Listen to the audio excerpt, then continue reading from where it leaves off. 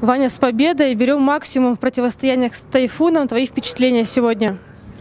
Ну, спасибо. Впечатление положительное, так как выиграли. Вчера тренер нам указал ошибки, в чем доработать, что исправить. Вот сегодня вышли и так получилось, что выиграли с приличным счетом. У тебя было много моментов и в первом, и в втором матчах. Как оценишь личную игру? Ну, игра не задавалась, уже последние игр 5. Но сегодня, можно сказать, повезло. Коля Смирнов хороший пас отдал, мне осталось только замкнуть. Твой гол стал переломным, помог команде в эмоциональном плане? Я не знаю, может быть, там все сплотились, продолжили еще лучше играть. Ну и в целом спрос лидеров всегда выше и больше. Ты находишься в тройке бомбардиров. Ощущаешь что дополнительную ответственность или она лежит на старших?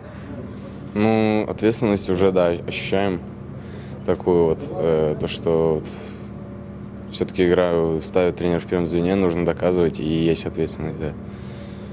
Впереди матчи с капитаном. Постараемся порадовать наших болельщиков в преддверии Нового года. Да, нам поддержка очень помогает болельщиков. Приглашаем вас всех на наши игры. И спасибо вам.